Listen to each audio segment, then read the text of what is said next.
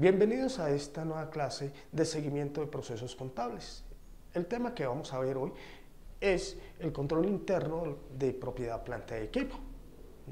Para llevar un excelente control, un buen control interno en una empresa, debemos seguir los siguientes pasos. Primero, realizar las pruebas de controles y determinar la extensión y oportunidad de todos los procedimientos de auditoría aplicables, de acuerdo a, qué? a las circunstancias de la empresa. Segundo, es preparar un informe con el resultado del trabajo, las conclusiones alcanzadas y los comentarios acerca de qué, de la solidez o debilidades eh, de ese control interno que se está manejando dentro de la empresa. Tercero, plantear, realizar las pruebas sustantivas de las cifras que muestran los estados financieros.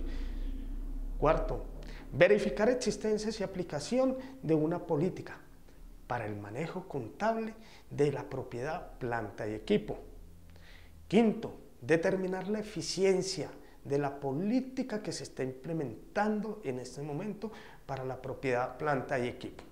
Sexto, verificar la existencia de un manual de funciones del personal que se encuentra a cargo del manejo de esa propiedad, planta y equipo.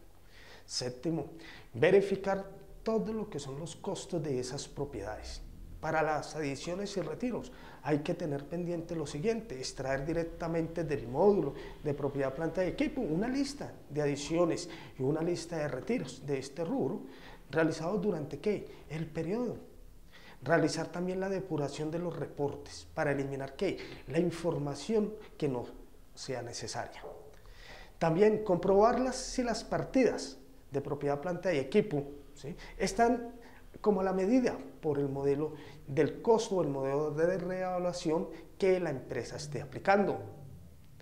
Décimo, si la compañía está capitalizando intereses por préstamos, validar que el tratamiento contable esté de acuerdo a las normas internacionales de información financiera.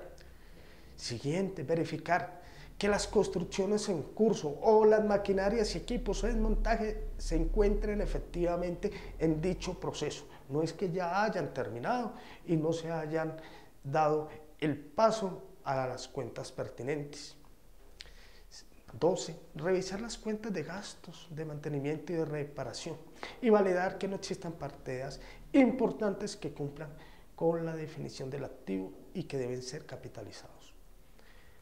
13. Observar los conteos físicos de la propia planta de equipo mediante qué? Un muestreo o revisar una compilación con los resultados. 14. Comprobar que los estados de los activos fijos sea el óptimo y que estén eh, a las medidas de seguridad. 15. Verificar que la propiedad, planta y equipo estén adecuadamente asegurados. Es un tema muy importante. Llega a pasar una catástrofe y obviamente si los tenemos asegurados podemos que hacer una recuperación de ese tipo de inversión.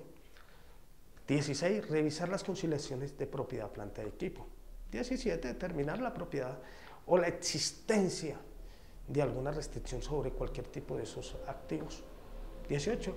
Efectuar un cálculo global de gastos y costos de la depreciación ¿sí? acumulada en el cierre, teniendo en cuenta cuál es el método de depreciación que ustedes van a utilizar, si es el método de vida útil, entonces tener en cuenta eso. No se olvide que el método de depreciación por el vida útil también tenemos que mirarlo de acuerdo a la política que se está implementando. No se olvide que se saca sobre el costo dividido por el número de años a depreciar. Gracias.